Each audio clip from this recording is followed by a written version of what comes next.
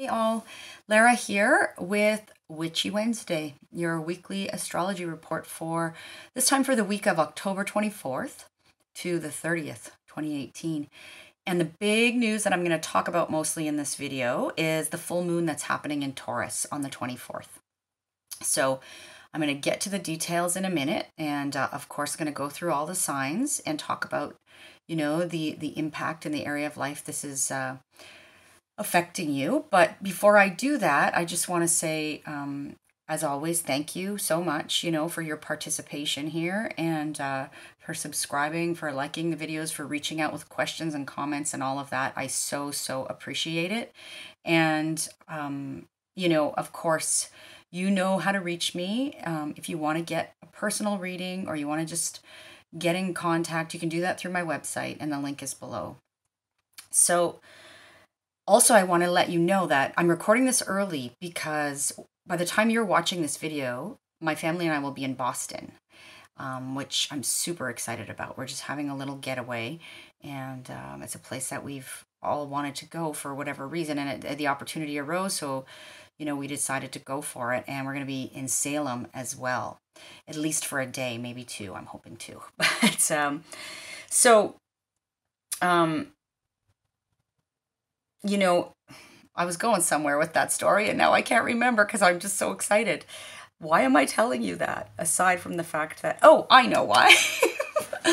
I'm, um, while I'm there, I will, you know, post stuff on Instagram and Facebook. So if you're interested in following along and uh, want to see some pics of Salem and Boston and see what's going on there, then then follow along on Instagram and uh, Facebook if you haven't yet. And the links to those will be below too. So, all right, let's get on with talking about this full moon. Um, the moon enters Taurus on Wednesday.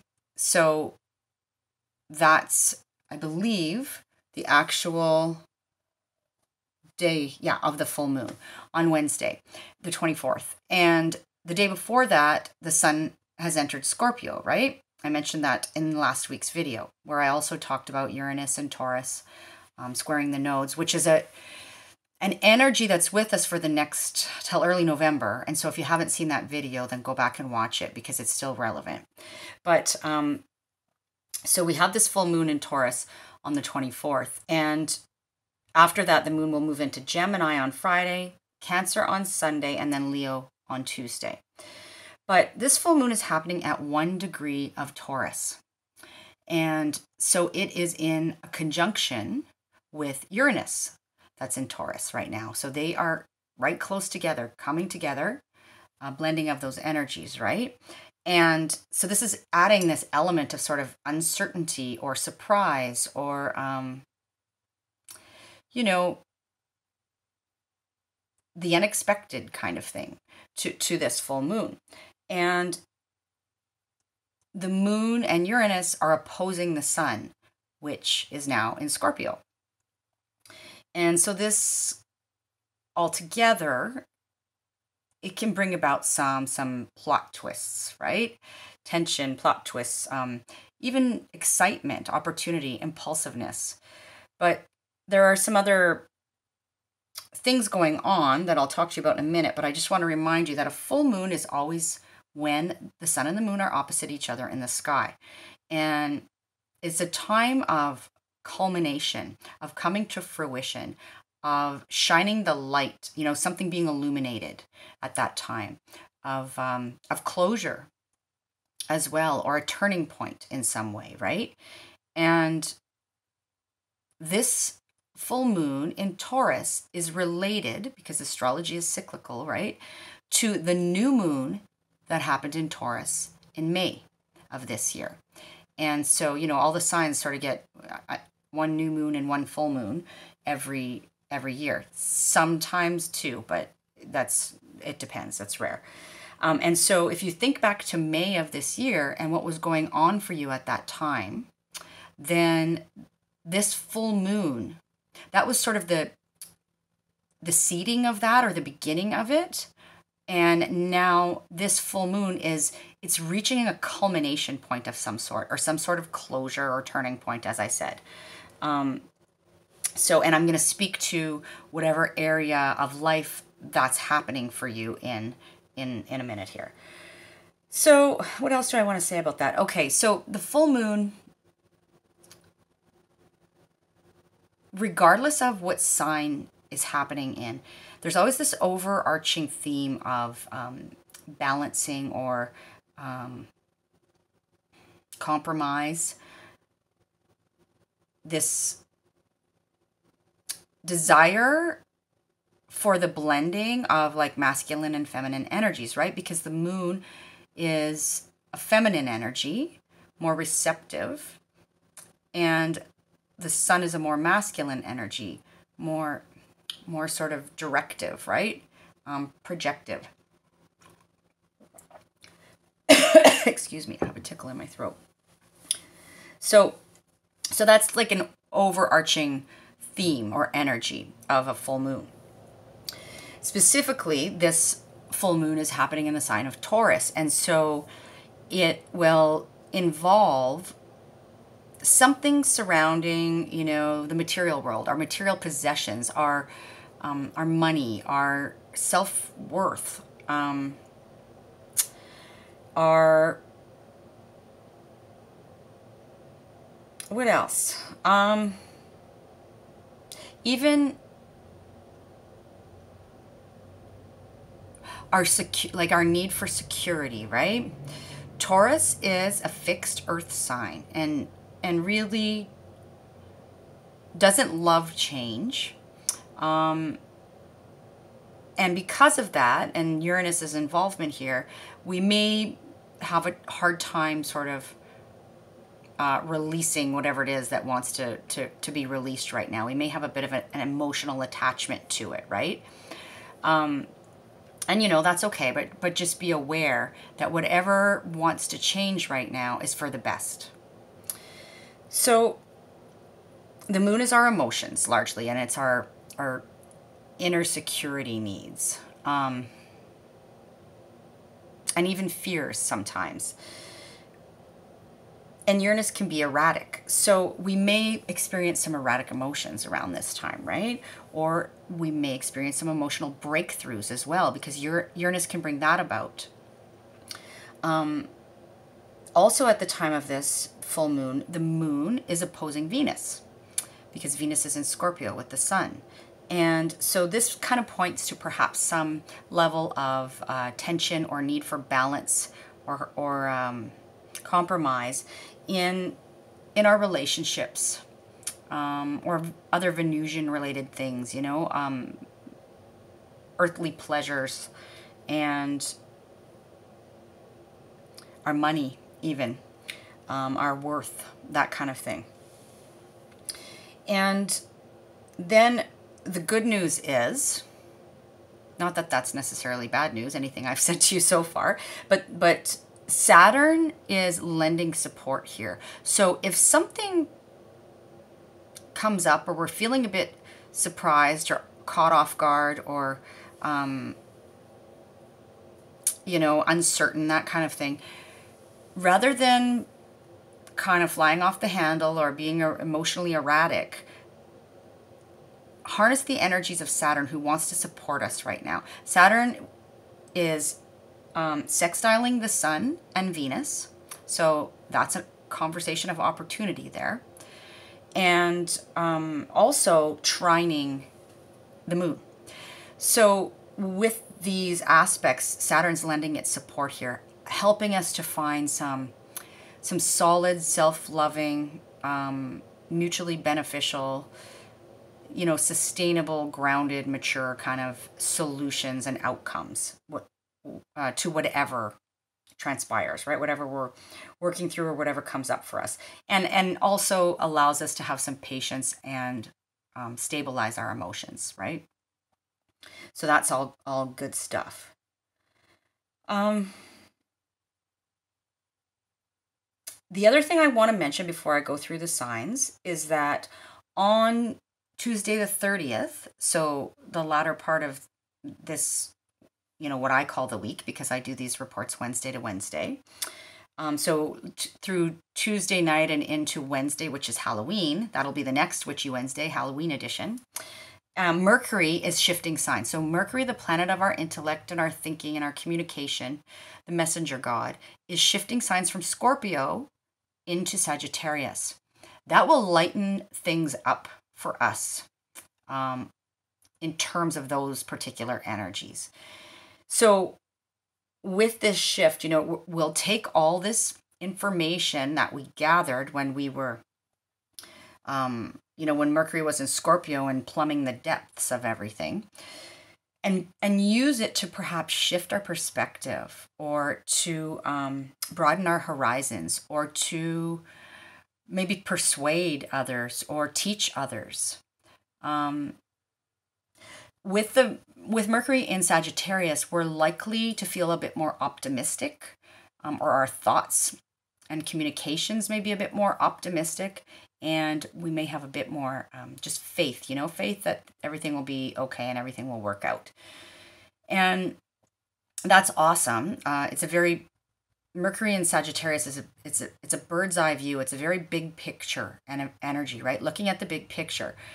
And so the only thing I would say is that if you have, you just be mindful um, of not losing the details of anything important when you're when you're, you know, communicating, um, speaking, writing, you know, that kind of thing, or just your general sort of thinking about things. Make sure that you're not completely, uh, excuse me, just you know, only looking at the big picture. That's great. Some people don't have the capacity to look at the big picture. And so um that can be that can be difficult, right? And so this this is great for for for that kind of thing, you know. If you're somebody who generally struggles with that, then this may be a helpful time for you as far as that's concerned. So, the full moon through the signs. First, I'm going to show you the chart, and then I'm going to uh, to speak to that. So here's the chart for uh, October 24th. All right, so we've got the Sun now in Scorpio, along with Venus, Mercury, Jupiter, still all the Scorpionic energy, right?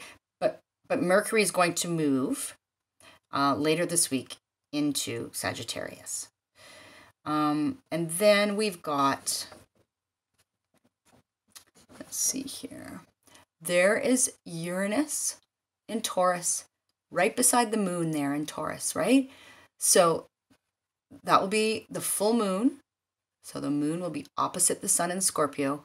And then you can see these conversations, these green lines are those um, opportunistic conversations or easy flowing conversations happening between Saturn, right? Saturn and Venus and the Sun, and then Saturn and um, it's uh, also sextiling um, the moon, right?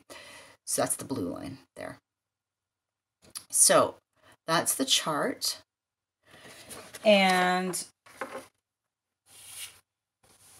I just want to remind you before I go through the signs that, again, there's a relationship between this full moon, whatever's culminating, being illuminated, coming to fruition, um, reaching a turning point, you know, all, all of that.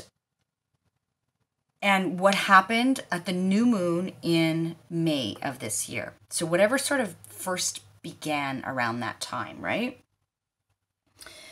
overall, as I mentioned, there'll be some degree of focus on on the material world, on earthly pleasures, on emotional attachments, even um, love and money, you know, and and likely some kind of changes or plot twists. Um, you know, there's that I think Facebook meme that it talks about you know life's going along and then you know somebody screams plot twist. It, it may be a little bit like that um, but also potentially excitement, opportunity, unpredictability. Also, the one thing I didn't say um, yet is that this full moon might reveal to you what's missing or what you feel. The moon is our feelings. What you feel is is missing in a particular area of life. And, uh, you know, so again, with the Saturn energy supporting this, a patient, mature, grounded, you know, sort of responsible, practical, long range view, right? Um, that's the way to approach approach anything that comes up. So I'm going to start with Taurus because Taurus, this is happening in your first house, right?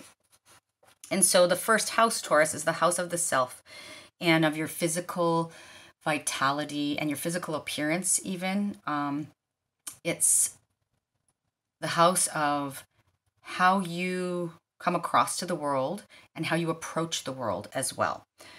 So,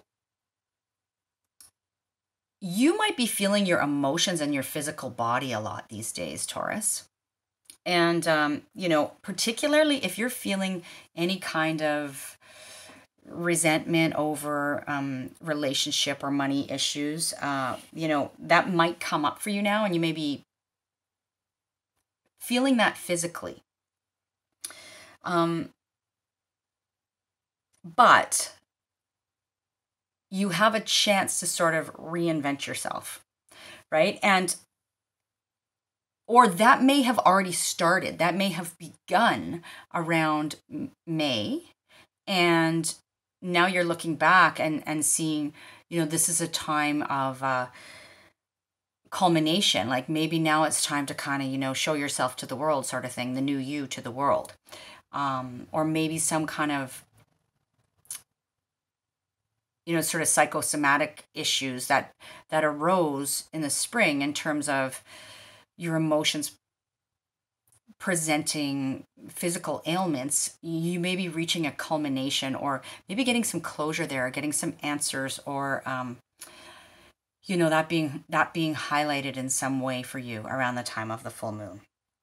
So that's for you, Taurus. And and you know, this is Taurus rising, Taurus sun, Taurus moon. Um, the rising sign, if you know it, is always the first one I would listen to.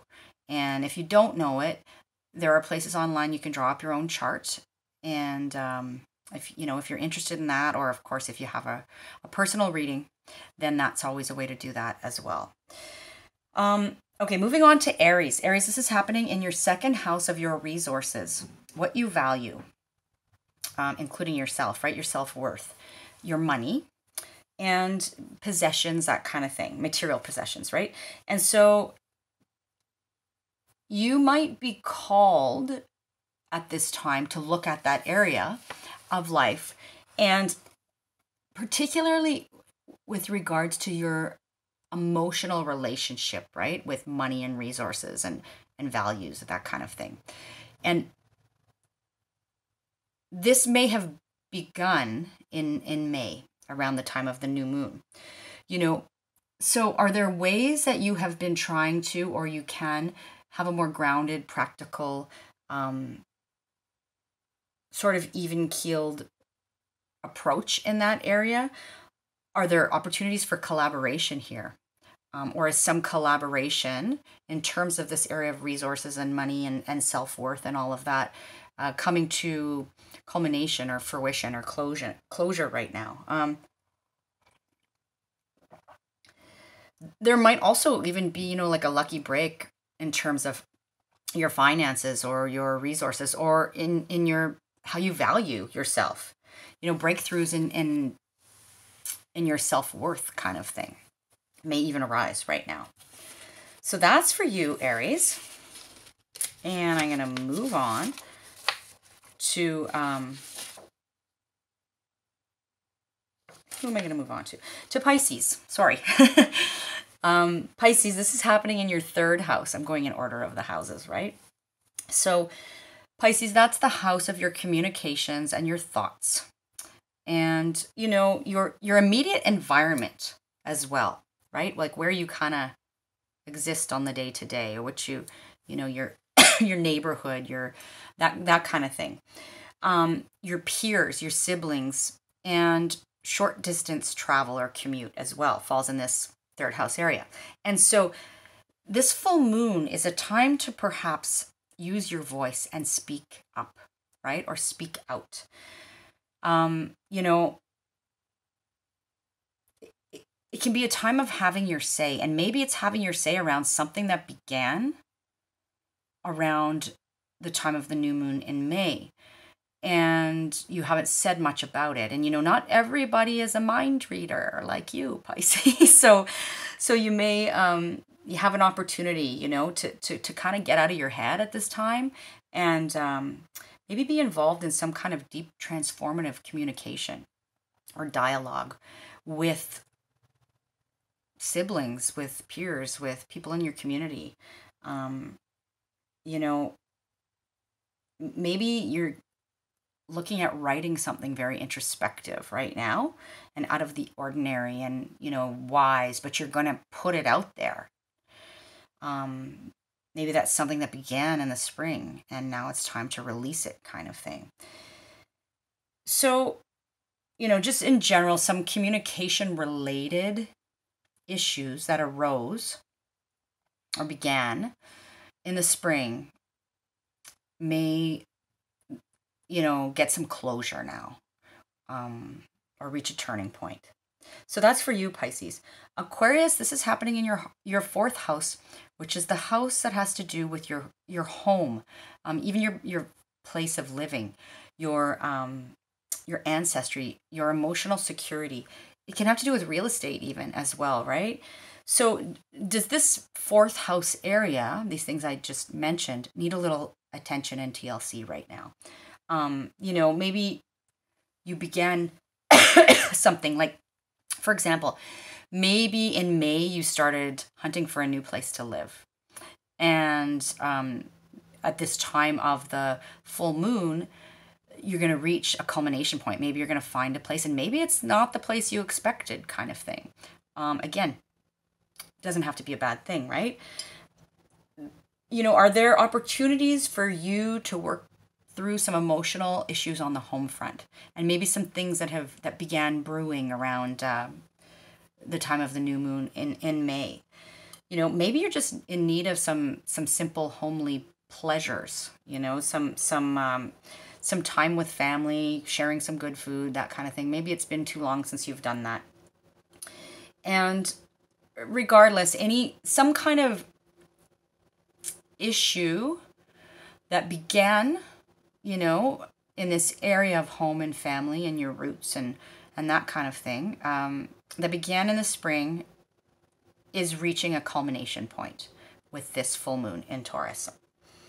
And you know the the full moon energies it's it you know it's not just on the day kind of thing. You may feel them a little bit before and a little bit after as well. Okay, moving on to Capricorn. I'm really trying hard not to have a coughing fit right now sorry. Um, Capricorn, this is happening in your fifth house of children. Again, it's children, your own children, or children you work with or are associated with. It's also your inner child, right? It's um, your creative spirit, um, how you express yourself creatively, right? Your it could be your hobbies and interests, um, also things you do for fun, romance, that kind of thing. All falls in this fifth house. And so, have there been some tensions in that area of life? Maybe something began in the spring in this area, and you've been working through that uh, since then, and and now whatever it is is reaching this turning point or culmination, right, or illumination of some sort, or maybe getting closure there. So maybe um, things like you know maybe you your partner you and your partner have been sort of disagreeing on how to deal with the kids. This is just one real life example perhaps. And, um, you know, this is a, a time when maybe you're going to reach some agreement or get some closure there, you know, get on the same page kind of thing. And maybe that will come about in some unexpected way, perhaps with Uranus involved, right? Um, maybe there is some kind of, uh, you know, around the time of the new moon in the spring, maybe you, you started some creative project or you were you were thinking about some creative project. Well, now's the time for that to culminate, right? Um, maybe time to put it out there, time to announce it, time to reveal it, those, those kinds of things. Um, and it's kind of a time to just take things to the next level in that, in that fifth house area. So um, take a look back to May, see what was transpiring in that area of life, and then, you know, see where things are at now for you. Moving on to Sagittarius. Sag, this is happening in your sixth house.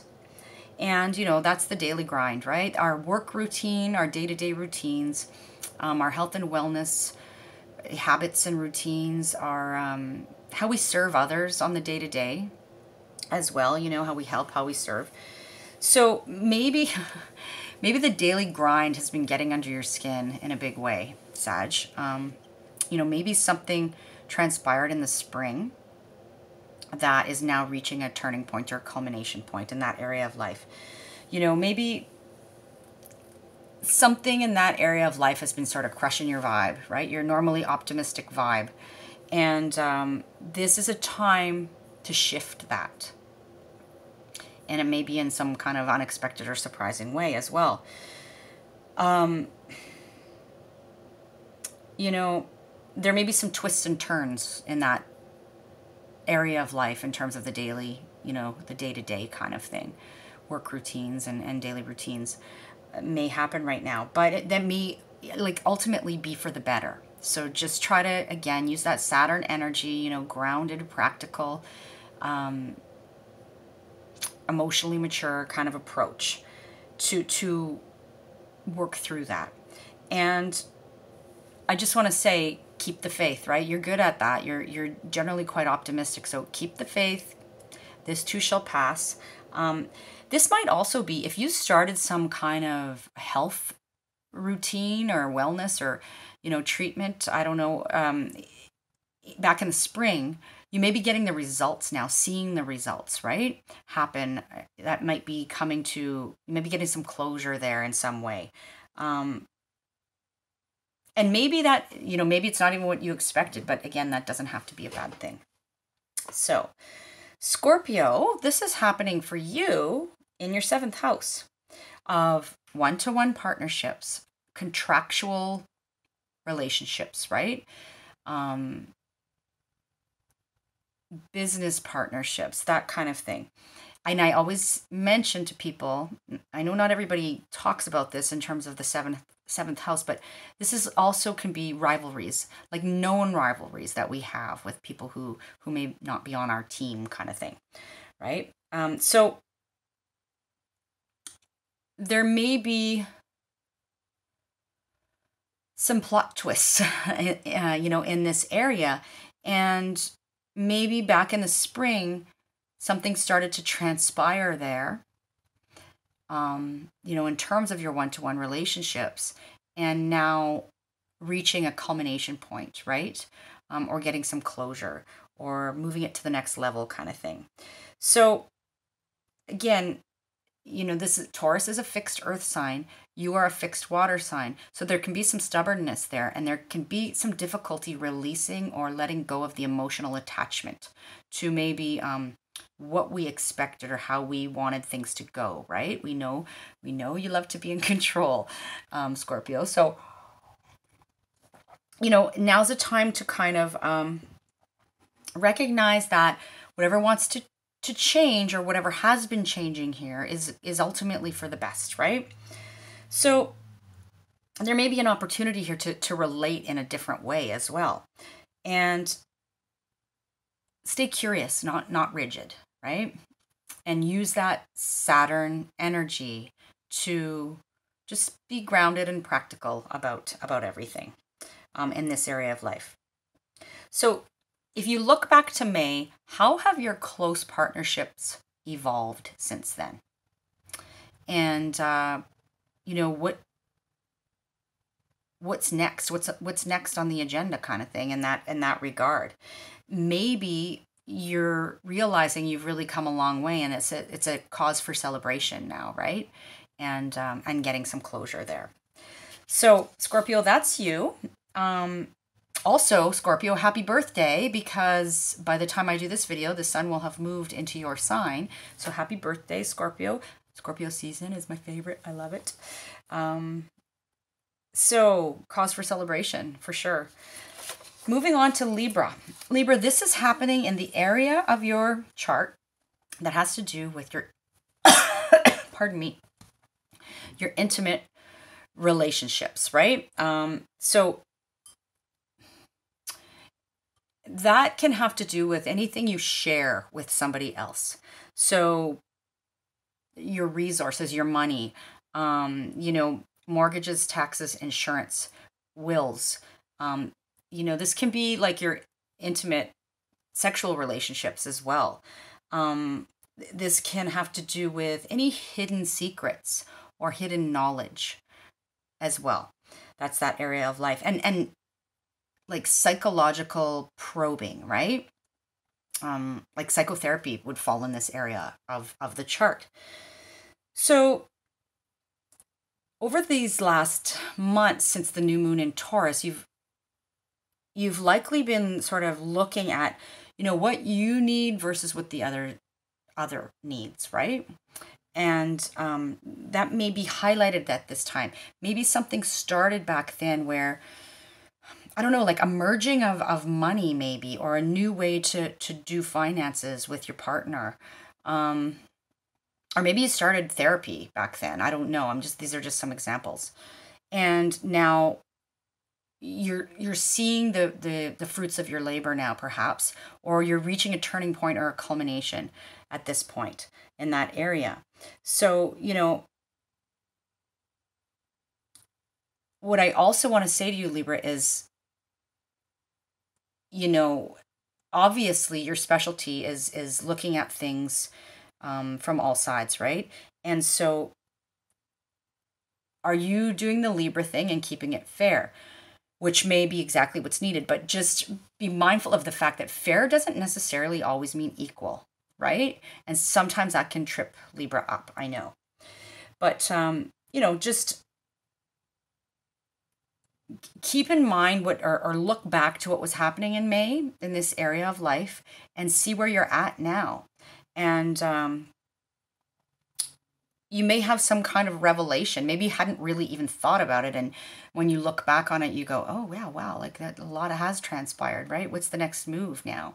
Um, and maybe it's not necessarily, again, perhaps it's not what you expected, but um, it, it's what wants to happen.